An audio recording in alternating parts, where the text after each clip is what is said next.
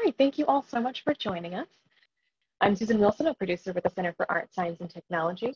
As everyone knows, the pandemic has thrown all of us into a sudden dependence on virtual events. We're all working together on navigating this new world and getting through all of the challenges and opportunities that it provides. As we all continue to iterate on the best practices for online events, we've begun to transition now from simply trying to recreate and replace traditional events to really taking advantage of a virtual format to combine the liveness and collaboration that you can find in person with the technological and locationally boundless benefits of virtuality. And I'm so pleased to introduce Tiandra Ray and Peter Godart, who will be sharing their experiences and their own best practices for virtual events with us today. Tiandra is a 2015 graduate of MIT in course four. She's an architectural designer, educator, and advocate for restorative justice. Peter graduated from MIT in 2015 with degrees in mechanical and electrical engineering and is currently pursuing a PhD in mechanical engineering looking at ways to use aluminum waste to power desalination and produce energy. He's also a jazz pianist and composer. Together, they co-organized Space for Action, Rebuilding a Sustainable World, a 90-minute performance conversation in April that brought together leading musicians, scientists, politicians, and activists to reflect on how the pandemic is reshaping our relationship with the Earth. We're really excited to have them with us today to share some of their insights from creating Space for Action and other virtual events. And with that, I'll turn it over to Peter and Tiandra. I am Tiandra Ray. That is Peter Godart. Thank you for the beautiful introduction, Susan. Um, we are two MIT alum, and now T Peter is back in the MIT student role, um, who are currently spearheading this collective called Space for Action. And it's a group of interdisciplinary folks. So we have artists, we have educators, we have musicians, scientists, um, activists, people from the Boston community and a lot of people from the MIT community who are coming together to curate events and exhibits that help the public process the large issue of our time, which is climate change, and how that affects our relationships with each other, our relationships with the earth, how it intersects with various social justice issues, and disproportionately affects um, people of color in our country, America specifically. So we've had a lot of success with events in the virtual realm. We actually didn't set out um, as a virtual organization. Um, we, we had plans to actually hold a large event and installation at MIT this past spring for Earth Day. And of course, as the pandemic hit, things shifted a little bit. So we had a few virtual um, concerts, conversations, talks all mixed together, these virtual experiences um, over the course of the past several months. And Peter is going to show us a little bit from our performance event and we had speakers from all over. We had um, Reverend Mariama White Hammond, who is a local minister and climate activist in the Boston area. We had Rep Representative Ayanna Pressley there. We had Bill McKibben um, and we had Esperanza Spalding, which was really exciting. So she did some music, some um, speaking, and we also brought in some MIT alum and some Berklee um, professors and alum to do some original compositions. So Peter, do you want to show us those yeah. clips? Yeah, and before I do, um, so to accomplish all that Tiandra said that we're trying to accomplish as an organization, Space for Action, uh, the most important thing for us are, are holding these events, these engaging events, where it's a conversation and it's also educational.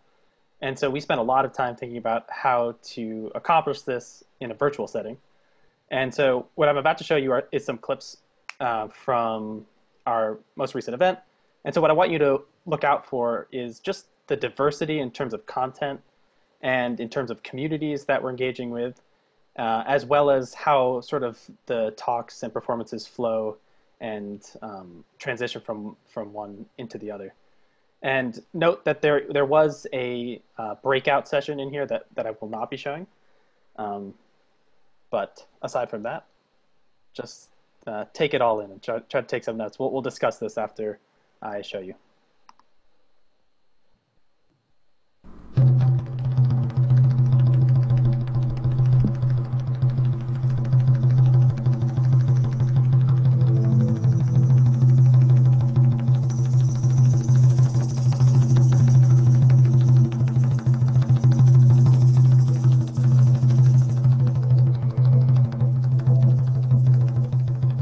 Together.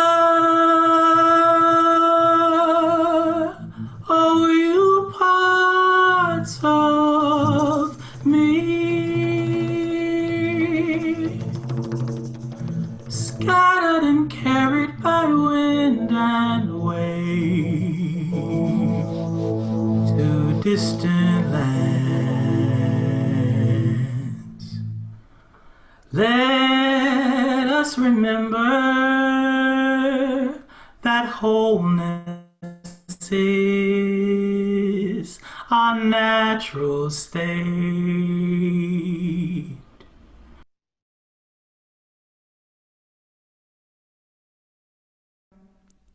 We will now hear from Edmar Colon and Tuti Juriat.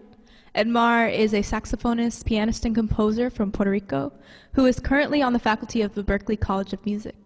Tuti is a singer, songwriter, actor, and voiceover artist, and they have both performed worldwide. Today, they will be performing somewhere over the rainbow. So it is my pleasure to introduce my dear friends Tuti and Edmar.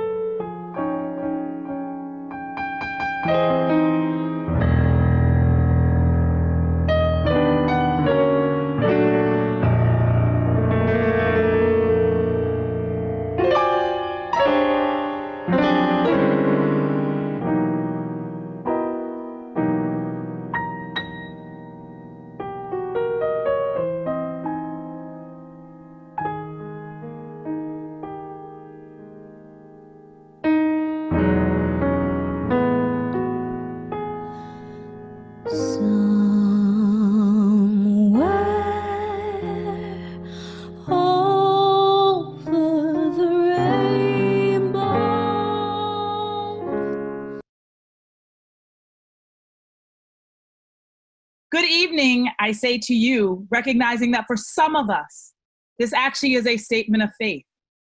To say that it is a good evening means to imagine and let go of some of the anxiety that we feel.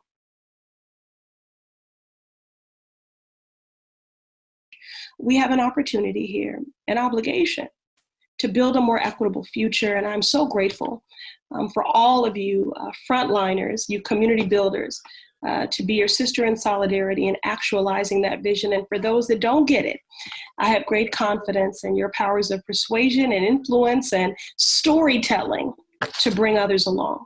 Thank you.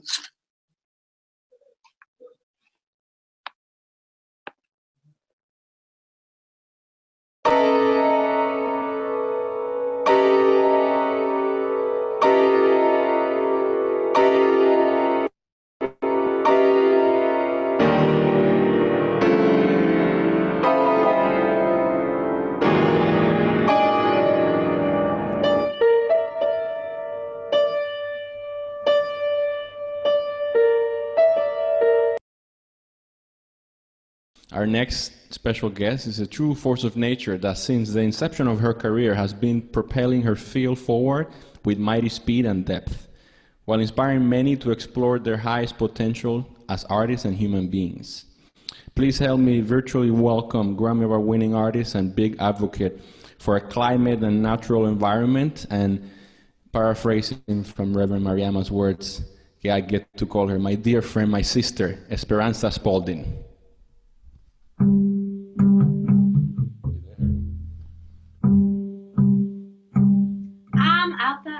Worship, with pride, with doctrine, with sin. Out my laptop or devices where I shop for wisdom. At my very fingertips, so much more than some holy man could ever hope to comprehend. So maybe now the Holy Spirit is simply a mighty network, anchored in accumulated knowledge, now encompassing the globe. Hear our heart beat like the drum, loud and sure. Feel the life rush through our veins, cool and pure.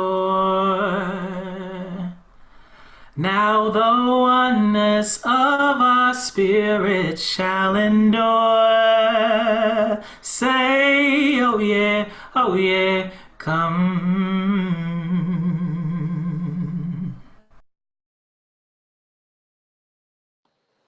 Oh man, it was really hard to stop a lot of those clips.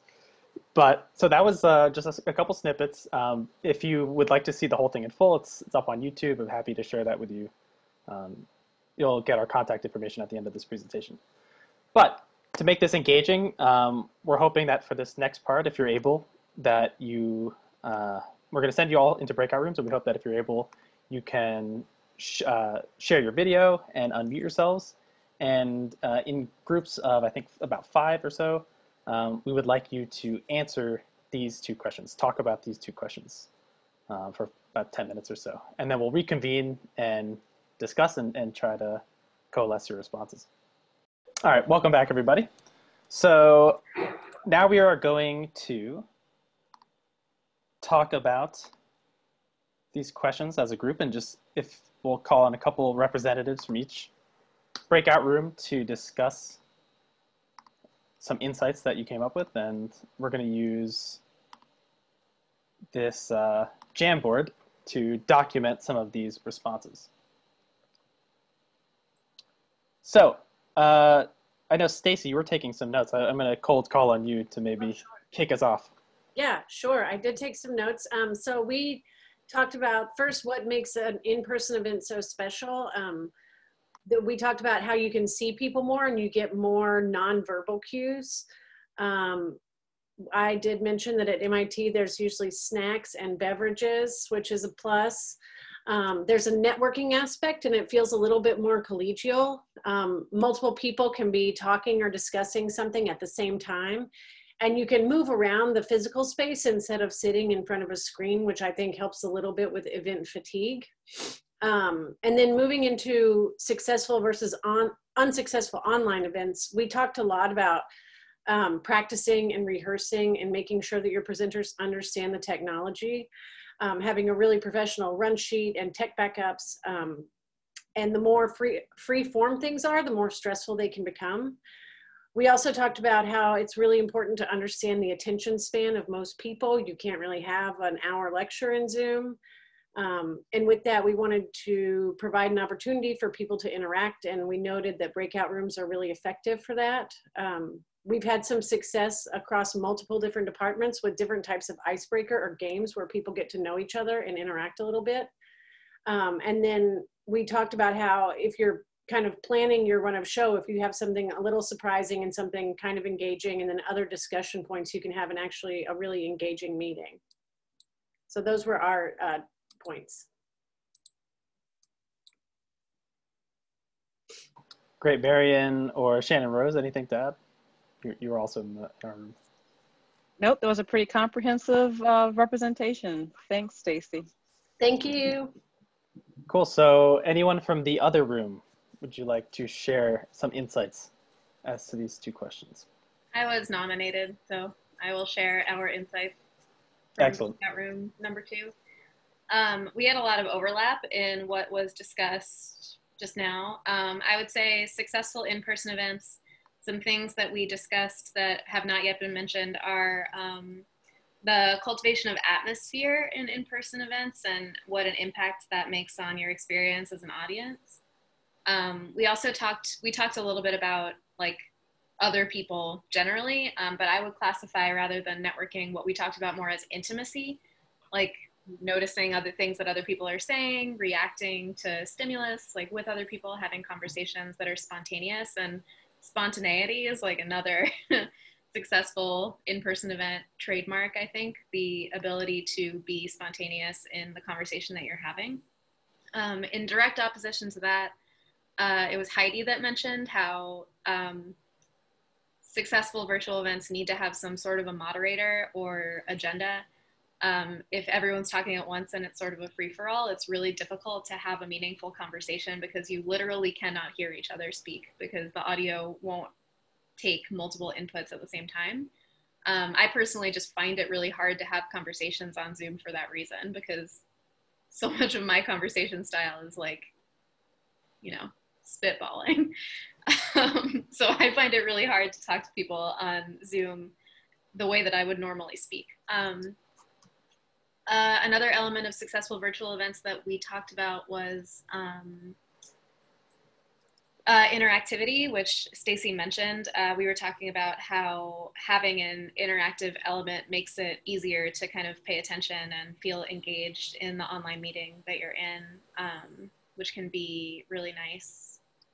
Um, I think that that's pretty much everything that diverged from what Stacy mentioned. Am I missing anything? Maybe Heidi or Lydia could chime in, or Catherine.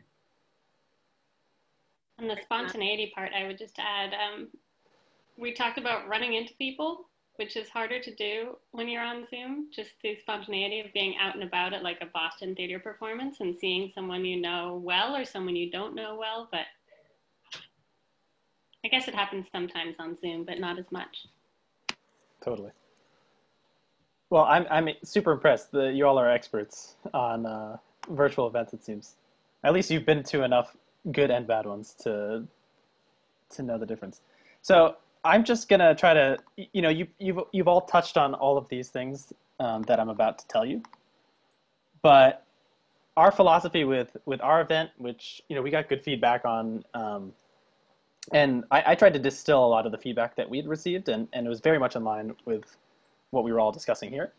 But to kind of distill those into three guiding principles, um, we would put them into these three categories brevity, keep things short, keep things moving. As you all mentioned, attention spans are low, especially when you're staring at a screen and you're not up and about and, moving around. And so it's best to avoid long lectures wherever possible with, uh, with only a couple speakers. Um, so if you are going to be introducing a lot of spoken or verbal content, uh, it's good to either switch back and forth between people or just have as many speakers as possible. Uh, the second guiding principle would be diversity. Uh, so it's super important to include varied content and also varied representation from different groups. And uh, continuity, actually back on that middle point real quick, um, the representation from different groups is, is key because you know different people are going to be, different speakers are going to be engaging to different groups of people. And so you want to have content for everyone that you expect to be on the call and, and maybe even some people you don't expect. And then the third point is continuity. So no matter what you're doing, like try to tell a story, maintain a clear theme, and the transitions in particular are key. And a, a couple Zoom tips, and again, these are all basically things that people mentioned. Uh, we found that it was really good to avoid sort of the webinar style events where there's this extra layer of anonymity where you can't even see the people who are on the call. Um, it's nice to have you know names and faces and especially as a performer it's really nice to look out to your zoom screen and, and kind of imagine an audience and you can seeing all the the squares is actually very inspiring to a performer. Have a script and practice the transitions including sharing screen. We've all been on uh, these zoom meetings where people don't know how to share their screen or unmute themselves and etc mistakes obviously happen but just you know try to try to be prepared there um, frequent use of breakout rooms and just encouraging people to show video and keeping them engaged at various points throughout obviously is a great idea. Um, for musicians, it's extremely important to set up the audio correctly. So there are all these advanced audio settings that uh, turn off the Zoom algorithms, which try to make, which are optimized for speech. And there's in particular this option called turn on original sound, which just takes your raw input from the microphone, which is great for, for live instruments. Um, as someone mentioned, in, in our group at least, it's important to have a moderator in any large group discussions. Um, people can't be trusted to sort of self-organize when there's you know 20 or so people. Uh, people are going to talk over one another, and then sort of the best case scenario is that everyone's just silent. So it's good to break it up into smaller groups, or if it is a larger group, obviously have a moderator. Um, using a team and, and, spreading out responsibilities is extremely helpful. Um, you can have someone managing breakout rooms, someone speaking and, and someone um, you know sitting idle ready to unmute the uh, the person who forgot to mute themselves and is yelling at their dog which literally happened to us. Um, and uh, in general just be positive and embrace the format. You know it's obviously it's not a, a live event and I, I, think there are some benefits to doing uh, virtual events so just try to embrace those benefits and by the way, I will be sharing these slides, so you know, don't feel like you have to take um, notes on all of this. I'd be happy happy to share this afterwards. So, Tiandra, do you want to talk about some things that aren't Zoom, which are pretty cool? Yes. So we all know and love Zoom at this point, or well, complicated relationship with Zoom maybe, but we all have interacted with this format and are interacting with it now, but there are definitely ways to enhance the Zoom experience um, by adding in elements that go beyond just the video. And just to give you a little preview of what Peter and I have been cooking up with the SFA team, we're thinking about in physical installations that are interactive via web stream or interactive um, from afar and thinking about how we organize people in outdoor spaces, but streaming it so that it is accessible to people who cannot access the outdoor spaces. And again, different ways of interactivity um, virtually that is not just us having a conversation and interacting with physical built space, um, which is really interesting. Um, but I want to point out a couple of other tools that we've interacted with in the last few months. Um, so high fidelity is an interesting tool. I think it was Heidi that mentioned in our group um, enjoying like just bumping into people and being able to hear a conversation from afar. So what high fidelity does um, is it it places everybody on a map that you design, like a map of a space, and it's a 2D map. Um, and Peter, you could click on that link, I think not the picture, the, the caption. and takes you to that page. So you're actually just a, a floating head on this map and you actually hear in your headphones the people talking around you depending on where your icon is on the map. So Peter and I attended this like birthday party festival thing um, where they used this and it was pretty interesting. Um, there are definitely some kinks to work out in terms of like not being awkward, but when you're with friends, I think it especially is helpful when you're with a group of people that you already have some familiarity with.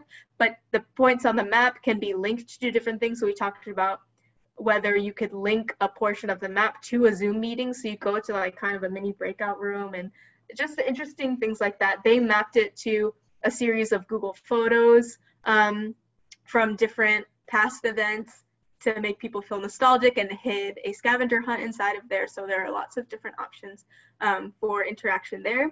And then there are tools like Miro boards or the Jamboard that you just saw, which are great for collaborative brainstorming. And of course, there's the whatever you all decide to come up with um, in your, your innovative, creative capacities. So we want to have a quick second breakout session and I'll post the questions in the chat where we take some time to actually brainstorm, think about what we can do with what we have and specific to all of your fields and spheres of influence and communities and preferences here at MIT. And actually, so. in the spirit of improvisation and, and adapting to time constraints, we're actually mm-hmm. not going to break out. We're just going to have this discussion amongst us. So Great. if you want to uh, turn on your cameras right now, um, we'll just have this discussion straight up. So if you want to speak, just because there's a few more of us than in previous breakout rooms, either raise your hand physically uh, or use the raise hand feature, and I'll I'll just call on you. I'll facilitate. And the questions are in the chat, so Peter, you can take that off the screen if you want, so we can see each other.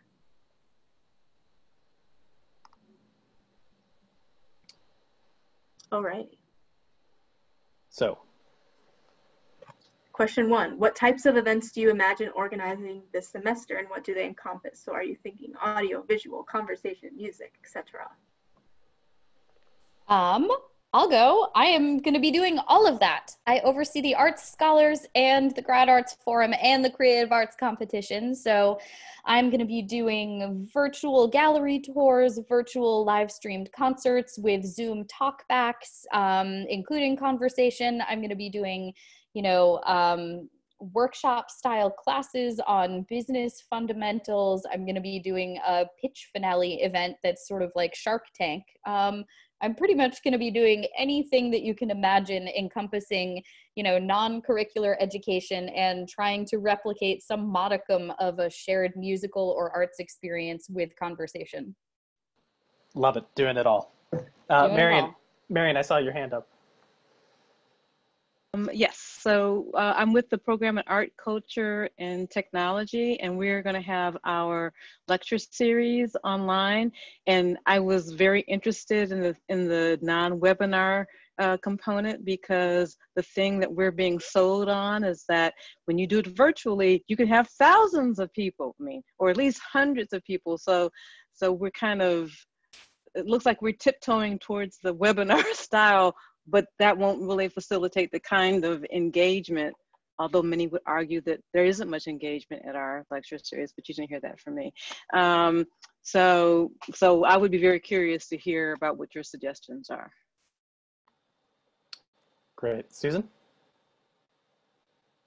I just wanted to really quickly. I mean, I think one of the things that I found really powerful about the Space for Action thing in the uh, in the spring was that we did have the full audience. I think one of the things that I was talking about with a student in our sort of breakout group was you you lose that energy um, in Zoom between a performer and the audience member, and I think that that really affects performers. And I think as an audience member, we just kind of check out more easily because we're we're used to being a little bit visible in an audience space. Like if you fall asleep, you eventually feel embarrassed. Usually, you know, like I mean, there's there's a bit more responsibility to the moment.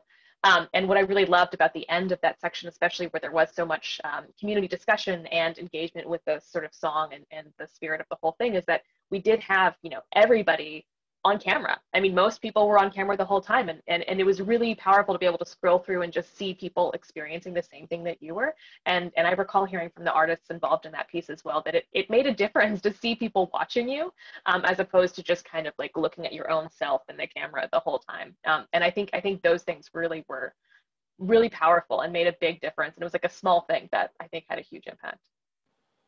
Right, we spend so much time thinking about what would engage our audience, but it's also important to engage the speakers and the performers as well.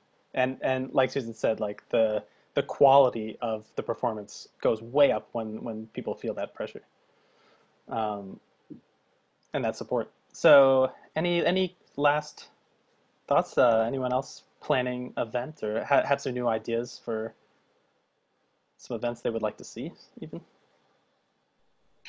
I this is not a specific event that I'm planning, but I am always thinking about ways to make events that combine, as Dana was talking about in our breakout room, um, some sort of gathering, but also a lot of interactive parts and games. So not necessarily somewhere in between, like a group of friends getting together to play a game and a live streamed performance.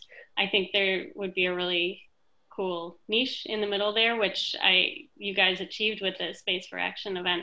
Um, but this idea of incorporating both interactivity and performance in the same space. No specific ideas for that, but I um, have been brainstorming a little bit. I love it. Let's, let's make it happen.